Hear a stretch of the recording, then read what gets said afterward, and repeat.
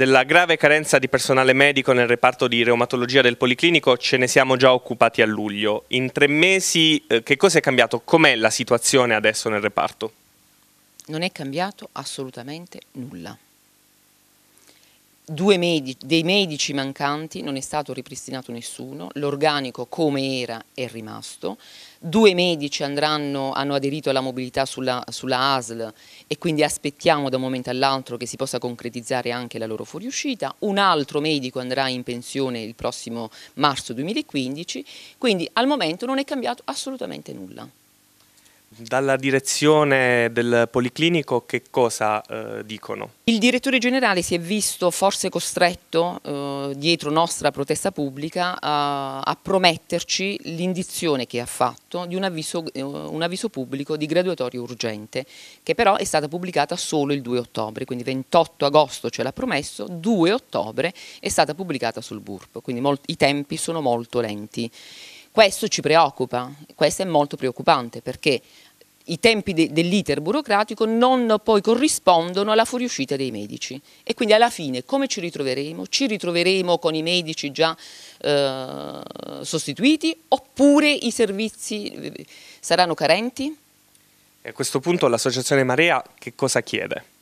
Chiediamo lo sveltimento dell'iter burocratico, quello che tra l'altro lui ci aveva promesso, perché ci aveva promesso una graduatoria urgente, un avviso pubblico di graduatoria urgente. Questa urgenza noi non l'abbiamo vista, abbiamo visto anzi rallentare addirittura i tempi, quindi ci auspichiamo che il direttore possa davvero intervenire nell'amministrazione affinché velocemente noi ritroveremo l'assetto completo, perché non ci dimentichiamo che a marzo ci saranno, man saranno mancanti otto medici, affinché la reumatologia ritorni ad essere la reumatologia di eccellenza che lo era una volta.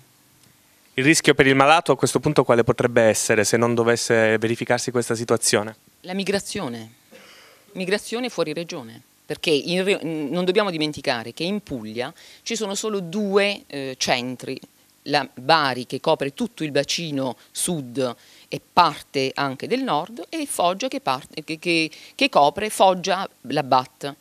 Quindi la Bari soprattutto, il Policlinico, perché parliamo solo del Policlinico, non ci sono altri centri come il Policlinico, il Policlinico ha l'obbligo assistenziale nei confronti di tutti gli ammalati e poi a questo devo anche aggiungere che la Bari, il Policlinico, oltre che al suo uh, ammalato pugliese, copre anche la, la, Calabria e molti della Sicilia che si, che si riversano sul nostro, sul nostro Policlinico. Quindi il direttore generale ha l'obbligo noi abbiamo il diritto di essere curati nella nostra regione, non possiamo fare i viaggi come si faceva un tempo, i viaggi della speranza, che poi tra l'altro costano anche alla regione stessa, quindi c'è anche un esborso in termini di soldi della regione che deve pagare la prestazione alla, alla regione eh, in cui noi andiamo a, a curarci.